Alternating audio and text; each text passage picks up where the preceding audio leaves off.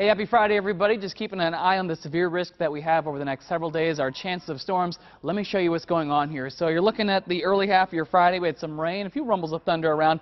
That's all lifting out of here. So as far as our storm chances, continuing through the day, going to be pretty spotty. The focus for today is going to be off to our south and west. Panhandles of Texas, Oklahoma, you see some storms already firing up uh, late morning hours towards the middle of the day, uh, north, uh, very close to Lubbock there. That's where the focus for severe weather is going to be. And this is a pretty potent storm system. We're talking snow in the Rockies off to the west of Denver. So you got snow on one side of the storm system, severe weather on the east side. Temperatures, they were in the 80s, by the way, on Thursday, all the way up into the UP of Michigan. So it's drawing up a lot of warm air ahead of it and cold air behind it.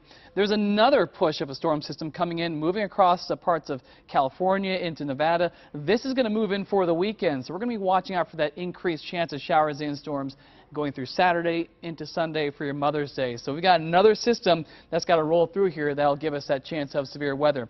We've been keeping a close eye on these systems, by the way, because they have been producing quite a bit of severe weather. This is over the last 24 hours. You can see the tornado reports across Oklahoma, Texas, uh, through Kansas, and eastern parts of Colorado.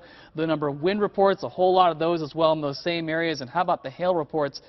A lot of those, especially across Kansas, Texas, and Oklahoma. And again, that was over the last 24 hours.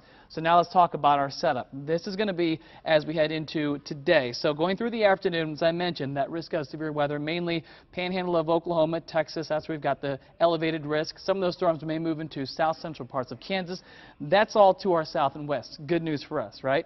Now let's head into Saturday. We're going to pull that risk a little bit farther north. So moving a little bit farther north into central Kansas, maybe some of those storms if they can hold together, may move into western parts of our area. I think, again, that main risk is going to be off to our west on Saturday. And then Sunday, as that whole system moves eastward, Timing of that front, depending on if we can clear out some of those clouds heading into the afternoon, we could see a few strong storms as we head through your Mother's Day afternoon. So here's a timeline. Here's what you need to know for the weekend for today.